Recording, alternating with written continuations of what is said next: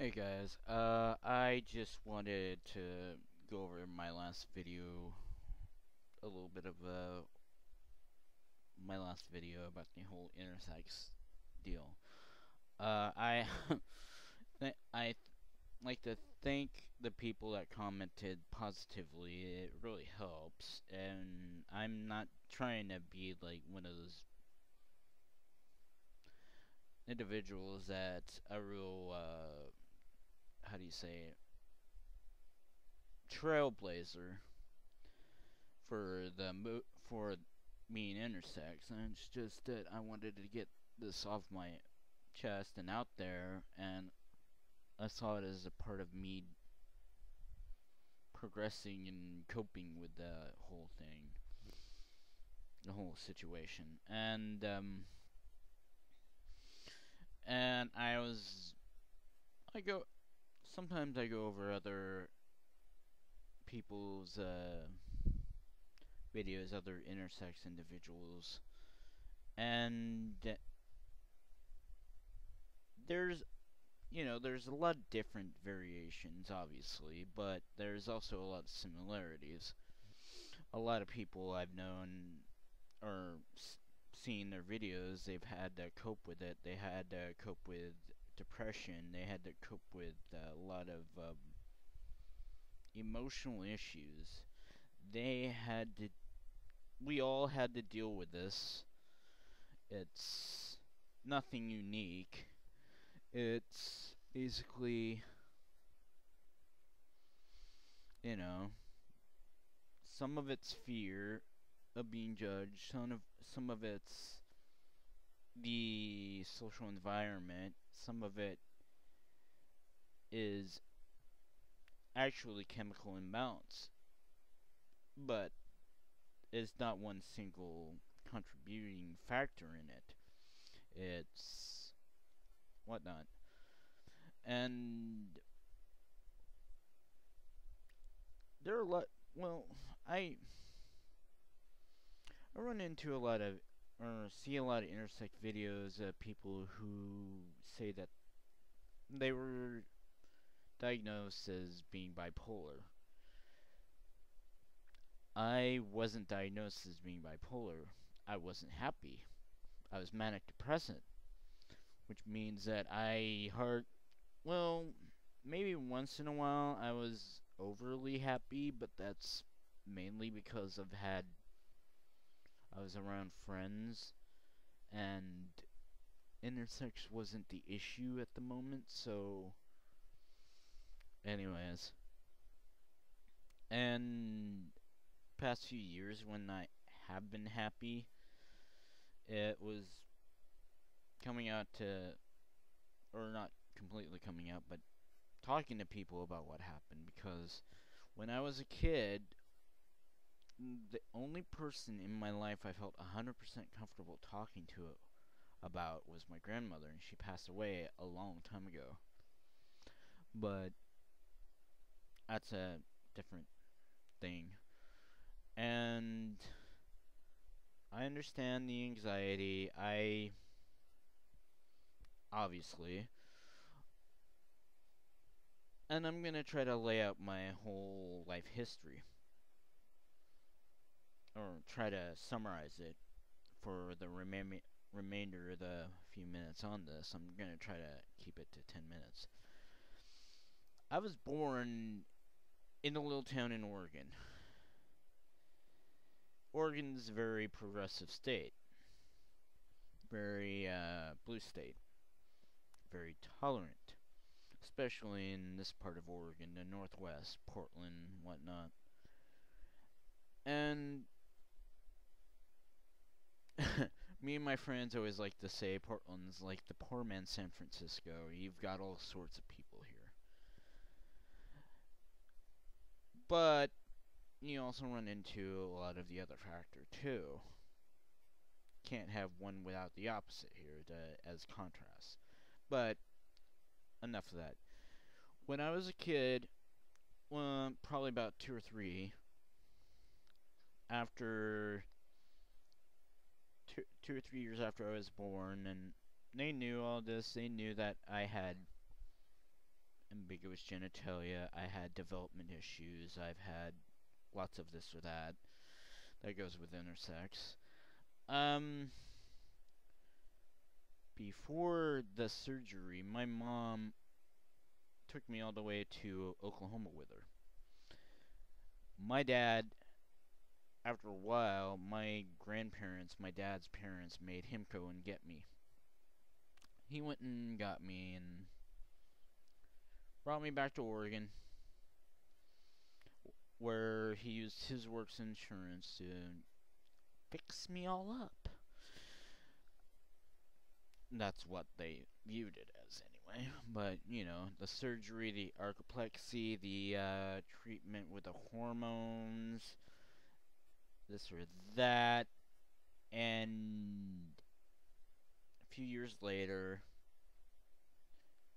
I trying to understand why my in school I accidentally saw other boys boys down there. And I didn't understand one they were circumcised. I was not and two why theirs were bigger which confused the hell out of me pardon my language there.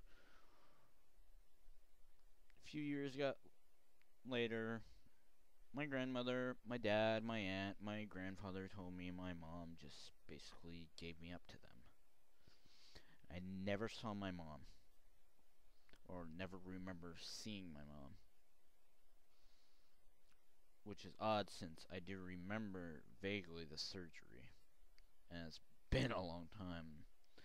Anyways they explained to me what happened with my mom, and I knew there. were Before they explained that to me, they explained to me a little bit of my condition as best as they could do from some people who weren't off very well educated to a kid that could not understand fully in medical or biological or physical terms or whatever.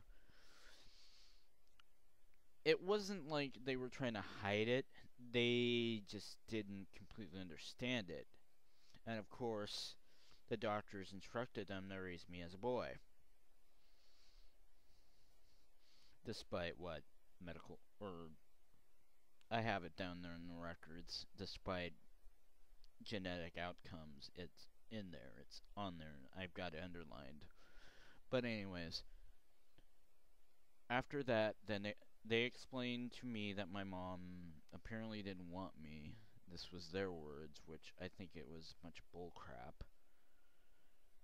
But, anyways, then when I got a little later, when it's like, well, even right after then, I felt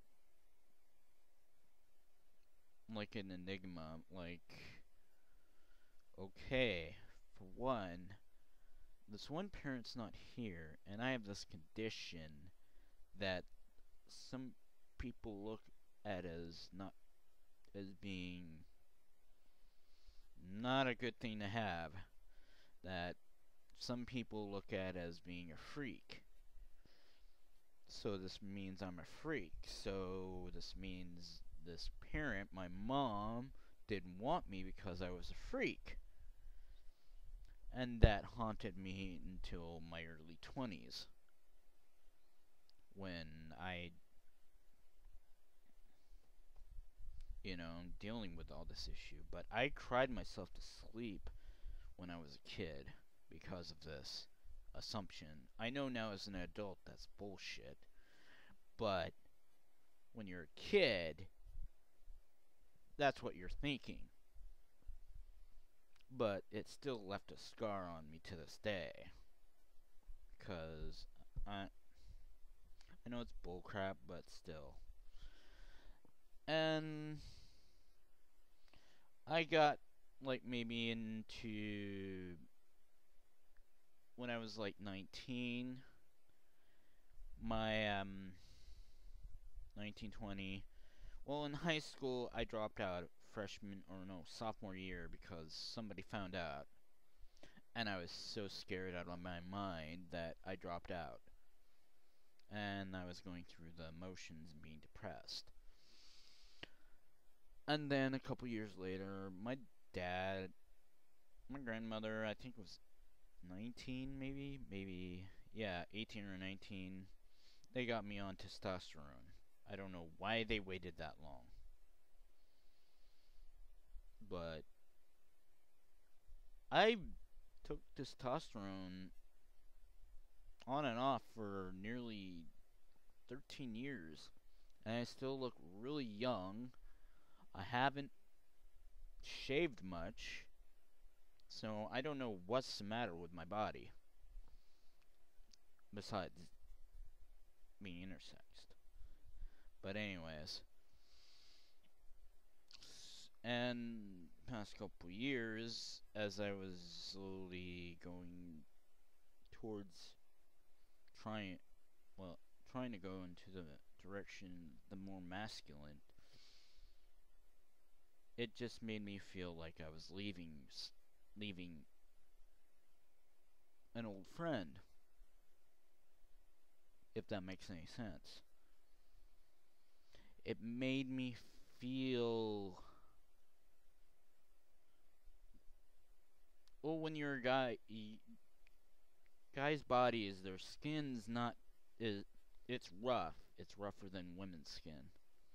And I liked having soft skin I also liked having the curves and whatnot. So, and I explained it to my therapist last time I talked to her. And somehow taking the testosterone also made me very numb inside. Not actual physically numb. That would really be bad.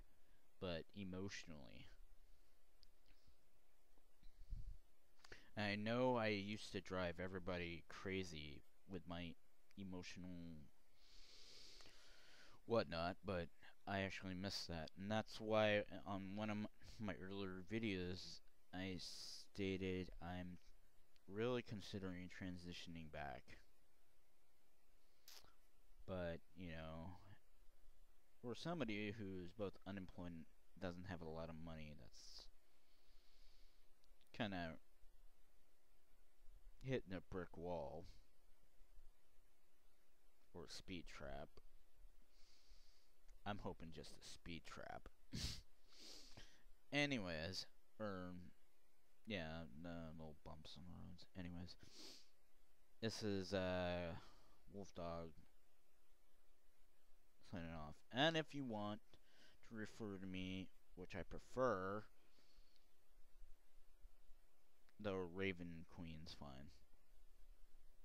Thanks.